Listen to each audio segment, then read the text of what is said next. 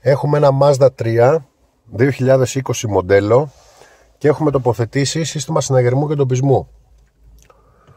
Λαμβάνουμε ειδοποίηση στο κινητό μας για οποιαδήποτε παραβίαση γίνει, για το αν χτυπηθεί περιμετρικά το αυτοκίνητο από κραδασμό, αν ανοίξει κάποια από τις τέσσερις πόρτες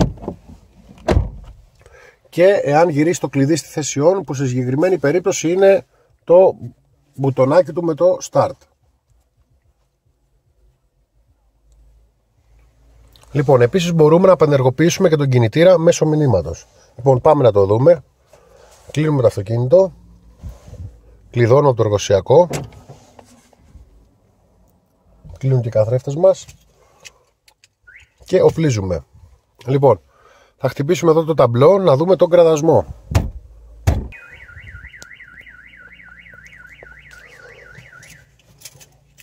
Αφοπλίζουμε και οπλίζουμε πάλι. Τώρα θα ανοίξουμε τις πόρτες και θα γυρίσουμε και το κλειδί στη θέση on, δηλαδή θα πατήσουμε τον μπουτόν.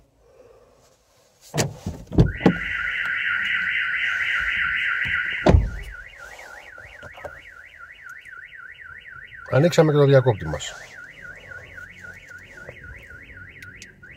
Αφοπλίζουμε και πάμε να δούμε τώρα τα μηνύματα που έχουμε λάβει.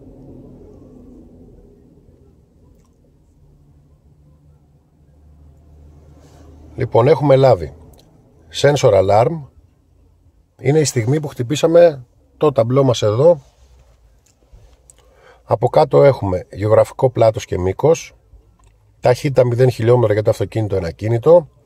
Ημερομηνία η χρονιά πρώτα 2020, τέταρτος μήνας, 15 του μήνα, 15 και 7 η ώρα. Και το link, το Google Maps, που μας δείχνει τοποθεσία. Μετά η πόρτα που ανοίξαμε, ξανά γεωγραφικό πλάτος και μήκος, ταχύτητα, ημερομηνία, ώρα και το link του Google Maps. Ανοίγουμε και το link αν θέλουμε ολόκληρο. Λοιπόν,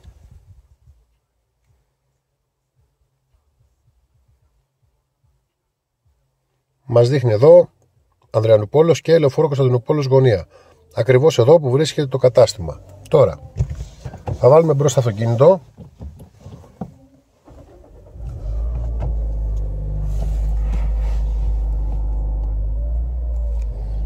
και θα στείλουμε μήνυμα για να γίνει διακοπή του κινητήρα. Λοιπόν,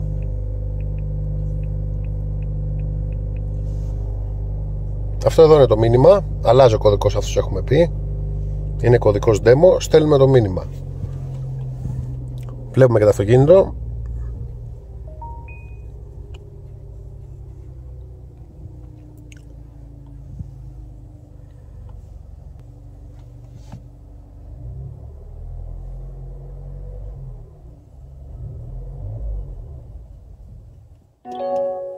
Έζησε το αυτοκίνητο.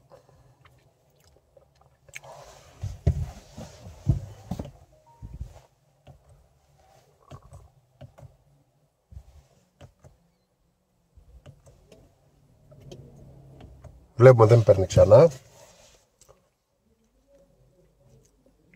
Λοιπόν τώρα θα του στείλουμε μήνυμα για επανενεργοποίηση κινητήρα. Αυτό είναι το μήνυμα. Αλλάζει έχουμε πει ο κωδικός.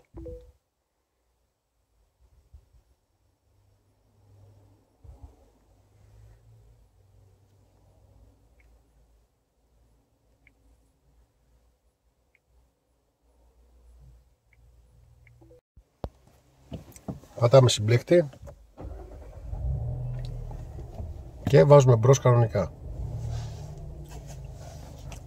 Σε κάθε μήνυμα έχουμε και την επιβεβαίωση δηλαδή έχουμε το stop σε πρώτη φάση stop engine succeed όταν έζησε το αυτοκίνητο resume και μετά resume engine succeed όταν ήταν επιτυχής η επανενεργοποίηση του κινητήρα και ξαναπήρε μπρος το αυτοκίνητο.